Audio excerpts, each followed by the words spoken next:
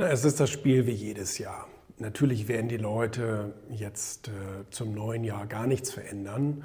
Torben hat letztens einen ganz guten Spruch gepostet. Der ging so sinngemäß, ähm, warum dir neue Ziele setzen? Du hast doch die alten noch gar nicht erledigt. Oder Vorsätze, neue Vorsätze. Du hast doch die alten noch gar nicht erfüllt. Und das stimmt natürlich. Die Leute haben sich ja mit dem Thema Zielsetzung nie wirklich beschäftigt. Oder Zielerreichung vielmehr. Ziele setzen kann sich irgendwie jeder. Ähm, aber die Ziele erreichen, die Ziele irgendwie planbar machen, beziehungsweise ähm, äh, eine, so eine Art Umsetzungskontrolle in den Alltag einzubauen, das machen natürlich die meisten nicht. Ähm, gut, es gibt immer einen Preis zu bezahlen, wenn du dir ein neues Ziel setzt oder Ziele setzt, musst du immer einen Preis dafür bezahlen, weil wenn du eine Sache erreichen willst, dann musst du dich darauf konzentrieren und fokussieren und Zeit investieren und die musst du in der Regel irgendwo anders abknapsen. Weißt du, die Leute, die, äh, wenn, also ich bin ja jemand, der wirbt sehr auch fürs Lesen, fürs Bücherlesen, also Sachbücher, Biografien und so weiter, weil man davon meiner Meinung nach sehr viel lernen kann. Trotzdem macht es ja kaum einer. Und der Grund, warum die Leute immer sagen, ja, ich, ich, ich schaffe es einfach nicht.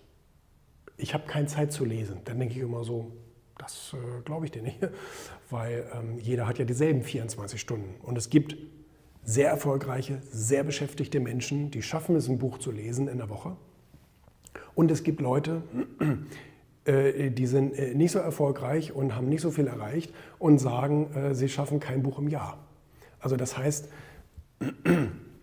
diese Diskrepanz sagt uns ja immer, selbst wenn die Wahrheit in der Mitte liegen würde, ja, also ist es scheinbar möglich, ähm, indem man die Prioritäten einfach anders setzt. Bedeutet, man muss ja die Zeit hier und da abknapsen, um sie dann in das Ziel zu legen. So, und wenn es nur Lesen ist, ja, wenn, wenn dein Ziel oder dein Vorsatz nur ist, ich will jetzt endlich mal lesen, du musst ja kein Buch in der Woche lesen. Kannst ja wenigstens ein Buch im Monat lesen. Und wenn es nur ein dünnes ist, ein Buch im Monat lesen, würde ja schon das komplette Leben wahrscheinlich verändern.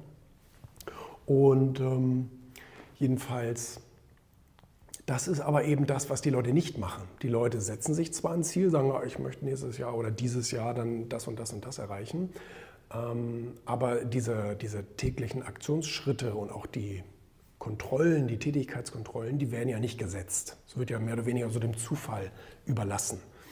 Ähm, aber Ziele setzen und erreichen ist ja auch wirklich so eine Wissenschaft, wie ich ja in diesem äh, Video ja auch über äh, den, Brian, den Brian Tracy und das Buch Ziele äh, gesagt habe. Ne? Also kaum jemand hat irgendwie mal ein Buch über Ziele gelesen. Also ich sage mal so, ich kenne Leute, die wollen das Malen lernen, also machen die doch sozusagen einen Kurs, kaufen sich Bücher und so weiter, wie man richtig malt was für Techniken es so gibt und wie man die richtig anwendet, Farbkompositionen, bla bla bla.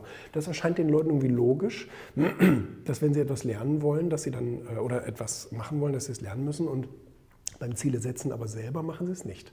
Also die glauben, Ziele setzen, ach, das macht man einfach so hier, Ziel gesetzt, fertig aus. Das ist es ja nicht. Das ist ja nur der Anfang der Reise und nicht das Ende der Reise. Da fängt die Arbeit ja erst richtig an, auf täglicher Basis, 365 Tage im Jahr zu gucken, ähm, wo stehe ich gerade, was, was muss ich überhaupt auf täglicher Basis tun und wie kann ich es tun. Das ist eben dieses Beispiel mit dem Lesen. Ja? Also das kannst du auf alles adaptieren. Ähm, wenn du irgendetwas in deinen Tag einfügen willst, musst du doch gucken, an welche Stelle und wie passt das und was habe ich vorher an der Stelle gemacht und was kann ich sozusagen jetzt eliminieren. Ähm, wenn du jetzt zum Beispiel 15 Minuten am Tag dir freiräumen willst fürs Lesen, ich bin ja so ein Toilettenverfechter, du machst auf Toilette, da sitzt du eh rum. Ähm, aber selbst wenn es anders sein sollte, da musst du ja irgendwie gucken, wo kann ich mir zum Beispiel dreimal fünf Minuten abknapsen. So. Fünf Minuten weniger Mittagessen, fünf Minuten weniger mit den blöden Kollegen quatschen, fünf Minuten weniger, keine Ahnung, Parkplatz suchen, weil du jetzt sagst, okay, ich riskiere ab und zu mal einen Strafzettel und park direkt vor der Tür. Blödes Beispiel mache ich aber selber so.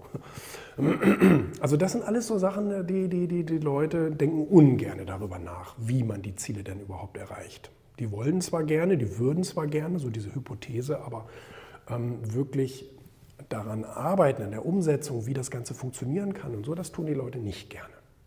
Und deswegen erreichen auch die meisten Leute nicht ihre Ziele. Ne?